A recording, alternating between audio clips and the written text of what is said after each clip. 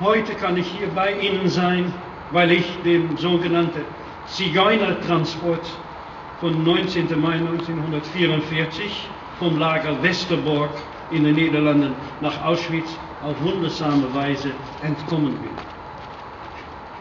Auch ich sollte als siebenjähriger Junge mit diesem Transport deportiert werden und stand zusammen mit meiner Tante, meiner Tante Musa, und einer kleinen Gruppe Familienangehörigen auf dem Bahnsteig, um auf den Zug nach Auschwitz zu warten.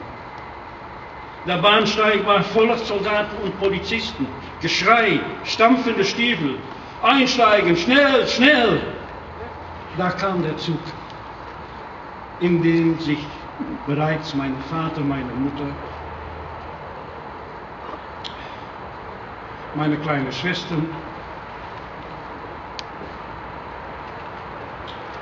und mein kleiner Bruder befanden.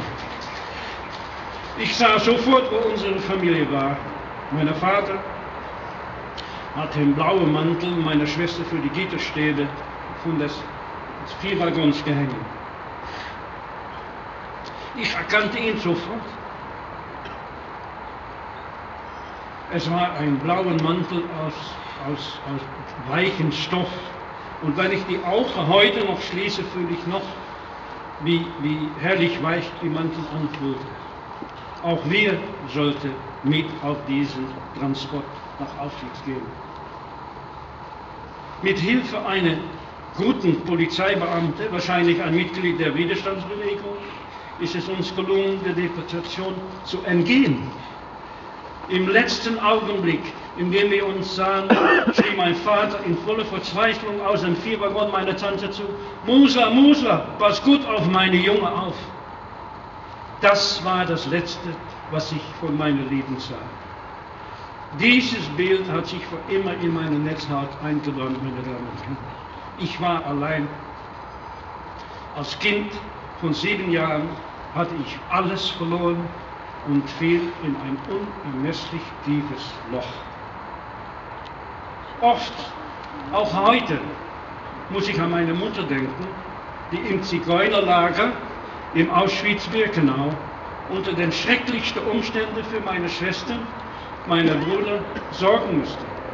Meine Mutter, die sich das Essen vom Mund absparte, um ihre Kinder im Leben zu erhalten. Wir können uns keine Vorstellung machen von das unvorstellbare Leiden, die meine Mutter und all die anderen Mütter erlitten haben. Sie müssten in manchen Fällen erleben, dass an ihre Kinder die fürchterlichsten medizinischen Experimente durchgeführt werden. Schließlich, in der Nacht von 2. auf 3. August 1944, würden die noch verbliebenen 2900 Frauen, Kinder und Eltern aus dem Zigeunerlager vergast. Auch meine Mutter, meine Schwestern und meine Brüder. Das ist der Grund, warum wir heute hier zusammengekommen sind. Wir haben jetzt einen eigenen Ort, an dem wir unsere ermordeten Lieben gedenken können. Meine Damen und Herren, dieses Denkmal ist ein Zeichen der Anerkennung. Anerkennung des uns in der Zeit des Nationalsozialismus zugefügten Leids. Es ist ein Denkmal der Besinnung wir müssen Lehren aus der Geschichte ziehen.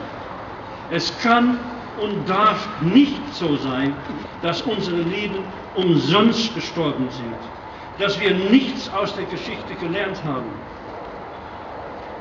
Wir haben die Aufgabe, die Voraussetzungen zu schaffen, dass Minderheiten in Frieden und Sicherheit leben können.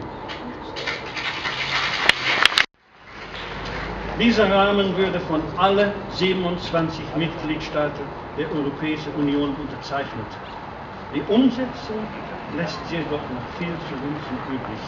Schwerpunkte dieses Rahmens sind Bildung, Arbeit, Gesundheit und Wohnung. Meine Damen und Herren, dieses Denkmal ist kein Schlusspunkt, sondern vielmehr der Ausgangspunkt für ein verstärktes Auseinandersetzung mit dem Holocaust an Sinti und Roma, die von der Verantwortung für unsere Menschen in Deutschland und Europa getragen wird. Wir Überlebenden würden uns sehr wünschen, dass der Zentralrat Deutscher Sinti und Roma als Initiator dieses Denkmals baldmöglichst eine eigene Repräsentanz in Berlin erhält. Ich hoffe, dass diese Gedenkstätte ein Ort des Nachdenkens, der Besinnung sein wird und das gegenseitige Verständnis fordert, damit wir miteinander in Frieden und Freundschaft leben können. Durch den Mut eines Einzelnen habe ich als Kind überlebt. Doch aber tausende andere Sinti- und Roma-Kinder konnte dem Vernichtungswille der Nazis nicht entrinnen. Sogar aus Kinderheimen und Adoptivfamilien würden sie in die Todeslager deportiert. Aus einem dieser Heime ist ein einzigartiges filmisches Zeugnis erhalten. Es sind Aufnahmen einer NS-Rassenforscherin. Sie missbrauchte 40 dort untergebrachte Sinti-Kinder für ihre Doktorarbeit.